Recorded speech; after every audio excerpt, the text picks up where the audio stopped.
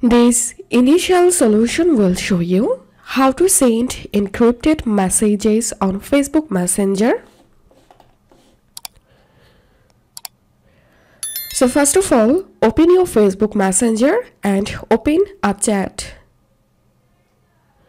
Once the chat is open, open the chat settings drop down by clicking the name of the person you are chatting with at the top of the chat pop-up you should see a pop-up menu where you can then click start end-to-end encrypted chat. So all you have to need just tap on start end-to-end encrypted chat.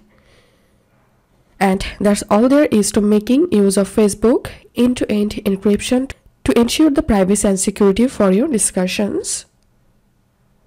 So that's all.